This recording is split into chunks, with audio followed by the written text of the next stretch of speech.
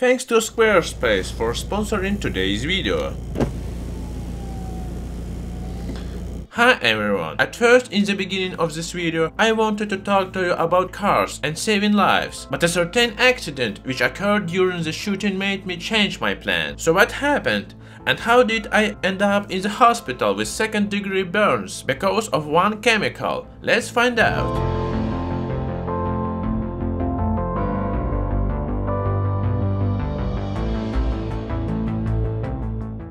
In this video, I'm going to tell you about some dangerous chemicals that many of you didn't know are present in our life and what harm they can cause if mishandled. However, I want to start not with a chemical that made me wear this bandage on my hand, but with a chemical that helps save the lives of submarine sailors and also provides oxygen for breathing to firefighters and the rescuers. These yellow granules, called sodium peroxide, can do all of that. You can obtain this substance if you ignite in the air such an alkali metal as sodium. Because of its extreme chemical activity, when burning, sodium can attach to oxygen atoms, creating not just an oxide, but rather sodium peroxide. Because of the abundance of oxygen, the obtained chemical is highly chemically active and unstable. When added to water, sodium peroxide immediately starts to break down into hydrogen peroxide and an alkali, which is sodium hydroxide. You can detect hydrogen peroxide in the water if you add a pinch of potassium permanganate into the solution. After that, hydrogen peroxide in the solution will break down into oxygen and water. That is why even when stored in the air, sodium peroxide can gradually react with moisture from the air and also with carbon dioxide, which people constantly exhale while breathing. This interesting property is still put to use in many submarines and also some gas masks. But because I have neither of them, to demonstrate this effect, I'm going to use a regular aquarium and a carbon dioxide detector, which I use at home every day. I'm using carbonated water from a shop as a source of carbon dioxide, which is a solution of carbonic acid in water. As soon as I open the bottle, the carbonic acid starts breaking down, as the pressure starts dropping, filling the aquarium with heavy carbon dioxide, which my detector immediately detects. In order to get more carbon dioxide, I'm just pouring some sparkling water into a beaker, and the detector starts going off. Because over 2000 CO2 particles in a million is a dangerous level of carbon dioxide for people. Over 10,000 particles in 1 million or in other words 1% of carbon dioxide in the air, can make people faint. I think we can stop at this level. In order to rescue the imaginary crew in my aquarium imitating a submarine and reduce the concentration of carbon dioxide in it, I'm pouring some sodium peroxide on the tray and covering the aquarium. Detector's reading indicates that the level of carbon dioxide in the aquarium is decreasing quite rapidly because the sodium peroxide starts to actively react with carbon dioxide, releasing oxygen and sodium carbonate. Thus, if it was a submarine instead of the aquarium, submarine sailors would have been able to hold off for some time under the water using the onboard sodium peroxide oxygen generators. This process is dramatically depicted in the Kursk film, where stuck sailors could breathe using such sodium peroxide capsules. If we add a little water to dry sodium peroxide, it will trigger an active chemical reaction, releasing a lot of heat. And if we mix a little bit of freshly obtained sodium peroxide with something flammable, for instance with chocolate flakes for breakfast, upon adding water, this mix can even self-ignite.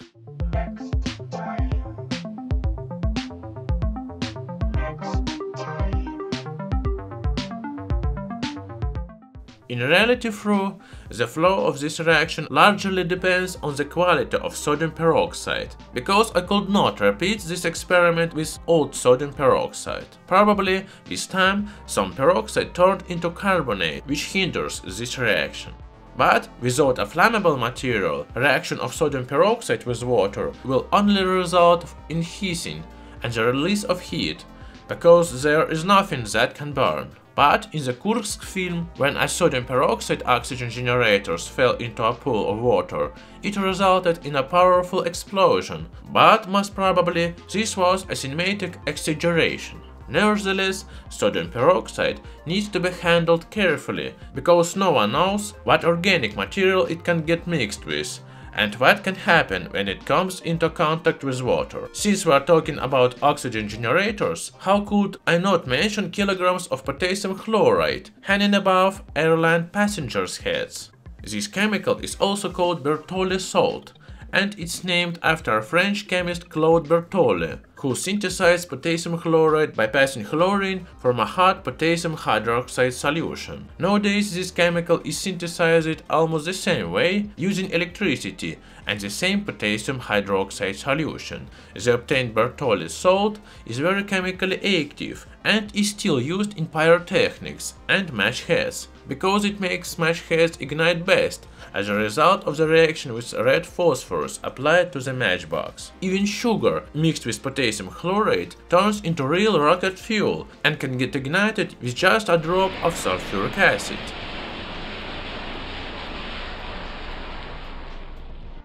If we melt some Berthollet salt and mix it with regular marmalade sweets, they'll burn, glowing brighter than a searchlight, in such a strong oxidizing conditions. That's because when potassium chlorate is heated up with some flammable chemicals, this material starts breaking down, releasing a lot of oxygen in the form of molecules and even atoms, which is known as atomic oxygen. In such conditions, no flammable materials can withstand. Even a dried burger, when placed into melted potassium chlorate, turns into a first-stage modern space rocket.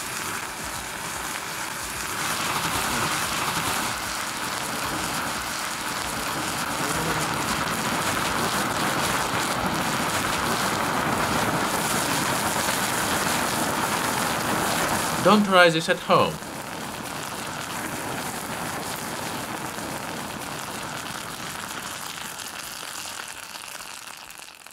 But how can this power be used in a peaceful way? After several years of research, it turned out that under certain conditions, potassium chlorate can break down releasing a lot of oxygen, which can be used for breathing in extreme conditions. To demonstrate this property, I'll show one experiment. First, I just melted some potassium chlorate in the test tube. At high temperatures, this chemical gradually starts breaking down, releasing small oxygen bubbles, but it's not enough for breathing. We need to speed up the reaction. To do that, I'm adding a pinch of manganese dioxide, which is a great catalyst, which means it can speed up some chemical reactions. Again, after adding the catalyst, the molten potassium chlorate immediately starts foaming because of the releasing oxygen. There is so much of it that even a smoldering rushlight immediately ignited after being lowered into the test tube with the outflowing oxygen. To mass produce oxygen, a prepared mixture consisting of potassium chlorate, iron powder and manganese dioxide is used. You can see the ratio of the ingredients on your screen. When heated, such a mixture can start self-sustaining reaction, where potassium chlorate breaks down quite quickly, releasing a substantial amount of pure oxygen. For instance, 7 grams of the mixture produced over 1 liter of pure oxygen, which when mixed with nitrogen will yield 5 liters of pure air for breathing. Nowadays, this breakdown reactions of potassium chlorate is used in many oxygen generators, which are installed practically in all commercial jets, instead of heavy and bulky tanks with oxygen. As soon as there is a loss of pressure in the aircraft's cabin or some accident happens, oxygen masks with oxygen coming from the breakdown of potassium chlorate immediately drop down. Oxygen gets you high. Emergency water landing 600 miles an hour. Blank faces, calm as Hindu cows. Turns out, nowadays a rather dangerous chemical can save your life, unless it's not mishandled, of course. I think after considering some gas generators in vehicles, it's time for you to learn why I have these cars, because it has something to do with cars, with airbags to be precise. Nowadays, they are installed practically in all cars, manufactured from 1999 onwards. In essence, an airbag is a small pyrotechnic charge which you always carry with you, because in the instance of a car accident, it starts producing a lot of gas at the needed moment for inflating the nylon airbag, protecting you from hitting a hard steering wheel or dashboard. The main chemical in the composition of the pyrotechnic charge is a rather toxic and unusual substance called sodium azide. When ignited, it immediately starts breaking down into metallic sodium and pure gaseous nitrogen, which inflates the airbag.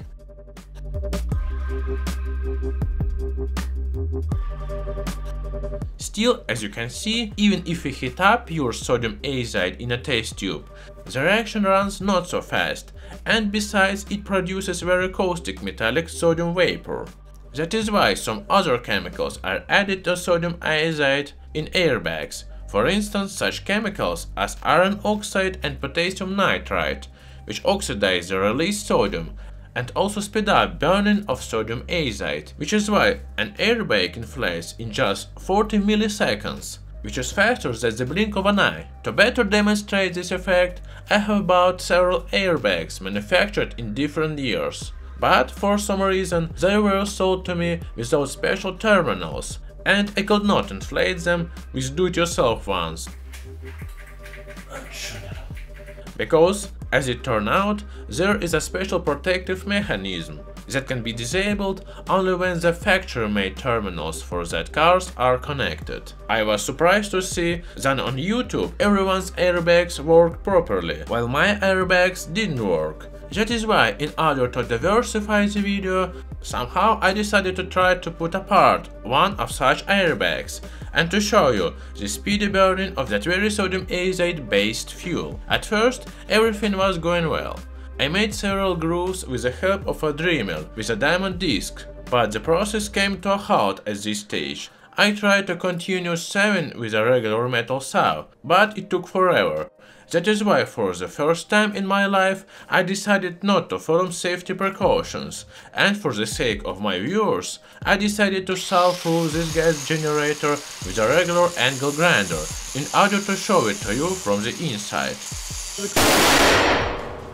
And, as you may have guessed, just several minutes later, several sparks coming out of the angle grinder found their way into the sodium azide in the capsule, and it triggered activation of the airbag. The burst of scorched gas immediately burned my left hand, which was in a glove, but I don't know how much it helped me.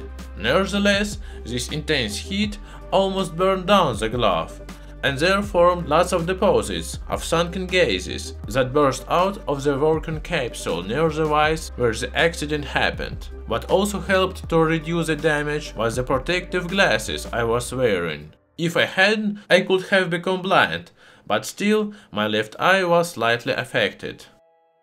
Of course, after the accident, I immediately called the ambulance and went to the hospital with second degree burns where my wounds were dressed.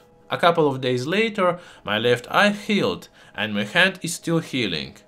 As you can see roughly, 90% of the burns have healed. In case my burned hand wasn't convinced you, let me repeat, never try to put apart such airbags. The safety precautions were written with blood, as it were, including my own blood. I'm lucky not to have inhaled dust of the unburned sodium azide from that airbag, because its toxicity is comparable with that of sodium cyanide, which is a strong poison. After the accident, there spilled some semi-burned fuel shims of sodium azide, which when lighted up turned into real rockets, but I don't think that this footage was worth having my hand burned. Don't try this at home. Nevertheless, if you follow the safety precautions, then today, in case of a car accident, sodium azide can save your life. But still many car manufacturers are discontinuing the use of rather toxic sodium azide in airbags and substituting it with other pyrotechnic mixes. Well, now you know what happened to me and during this shooting of this video. The chemical that was supposed to save me harmed me as a result of my mishandling it. This is the reason why there are safety precautions and they should be followed. Safety precautions for the next chemical have been given, but some points were not clarified, and in some countries the sale of this chemical was discontinued. I'm talking about the well-known potassium permanganate, which if mishandled can also do a lot of harm. From a chemical point of view, potassium permanganate is a very strong oxidizer, which means it can easily attract electrons of many chemicals. For instance, when this chemical is mixed with pharmacy glycerol, even at room temperature potassium permanganate immediately starts oxidizing carbon atoms in glycerol, increasing the temperature until the mixture self-ignites. This property of potassium permanganate is very useful in medicine, because besides alcohols and sugars, this chemical can oxidize the atoms that bacteria and other microorganisms are made of. That is why diluted potassium permanganate solution is still used in some countries for disinfecting skin and small wounds. Besides being used in medicine, potassium permanganate can also be used for some beautiful experiments, for instance, the well-known traffic light reaction. To run this reaction, I add some sugar solution with alkali to diluted potassium permanganate solution. The transition of colors here is really quite unusual. Besides this experiment, there is another interesting experiment with potassium permanganate. For this experiment, I need to mix it with sulfuric acid and the reaction produces a very strong oxidizer, which is a manganese oxide 7. If we take a regular candle, soak it in alcohol and touch it with this manganese oxide, the candle self-ignites. That's a rather interesting experiment, but you need to be highly cautious with manganese oxide 7. A small drop of alcohol spilled into a container with this substance can cause a fire. You had better not try this at home. However, besides a peaceful use, some amateur chemists from the former Soviet Union countries found another use of potassium permanganate. They use it to synthesize some forbidden chemicals, for instance such as methcathinone. That is why in Russia the sale of potassium permanganate in its pure form was forbidden.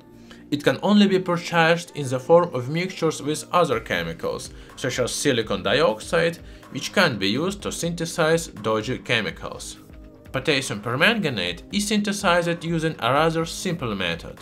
For this purpose, a mixture of manganese dioxide and potassium nitrate is used. This mixture is melted until it becomes smooth, and after that potassium hydroxide is added to the mixture. During this process, there forms a green manganese compound, which is potassium manganate. In order to turn it into a regular violet permanganate, solidified substance is dissolved in water, and a little bit of baking soda is added to the solution, which slightly changes the acidity of the solution and turns manganate into permanganate.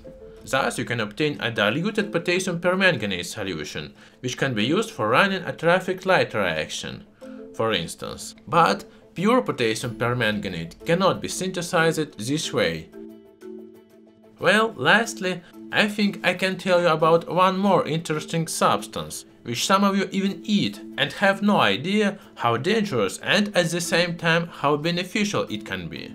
I'm talking about the cans with whipped cream that we have got so used to. Inside them there are nitrous oxide, or it is also known laughing gas dissolved in the whipped cream, which serves as a propellant. When the button is pushed, pressure inside the nozzle suddenly drops, which immediately makes the nitrous oxide flowing out, forming the whipped cream.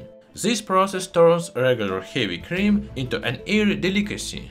Besides cans with ready-made whipped cream, you can also buy special pastry dispensers, you just need to fill it with sweet heavy cream, attach a can with nitrous oxide, and after a couple manipulations, I got a whipped cream resembling factory made.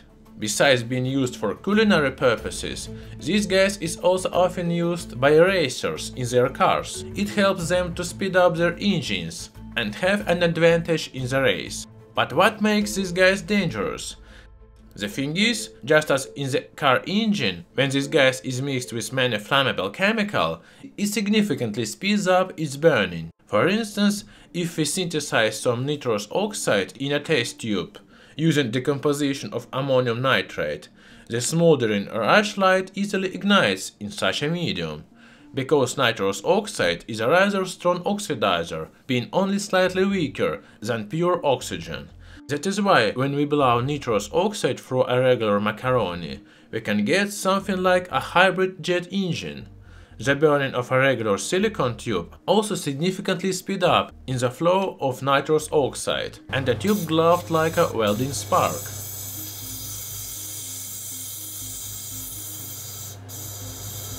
Besides being able to oxidize everything around, nitrous oxide also have a physiological impact on the organism. It can cause drowsiness or even euphoria. The unusual property of this gas to have a general anesthetic effect has been used since the mid-19th century by first anesthetists. Euphoria was something like a side effect, but some people got excessively enticed by this. And I think you have heard about laughing gas balloons at nightclubs. Those balloons were filled with this very gas, nitrous oxide. If I am not mistaken, they have also been forbidden in Russia. That's good, because this gas is highly dangerous for the brain. I strongly advise you not to do this. Nowadays, at hospitals, nitrous oxide is mixed with air and some other chemicals to induce general anesthesia and only for short periods of time. In the end, I'd also like to mention Squarespace, which will definitely take your capabilities to the highest level. Build your community with a fully integrated commenting system and blogging tools to share and schedule your posts. Connect with your audience and generate revenue with your fully enabled content as well as knowledgeable management of your subscribers and analysis of their data on the platform. And if you value comfort and convenience, then you'll definitely love Squarespace extension, which has everything from inventory to sending your products around the world. Follow the link in the description to take advantage of a free trial on the platform. And when you are ready, follow my link squarespace slash thoisoi2 to save 10% when you buy your first website or domain. Good luck! So, I think after watching this video, you know about some dangerous chemicals and what happens if you mishandle them. And if you like this video, don't forget to give it a thumbs up and subscribe to my channel to see many more new and interesting